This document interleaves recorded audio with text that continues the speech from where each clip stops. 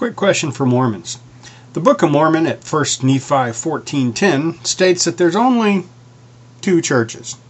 One is the Church of the Lamb of God, and two is the Church of the Devil. Now, since I've never been a member of the Church of Jesus Christ of Latter-day Saints, to which church do I belong? Have a Happy New Year.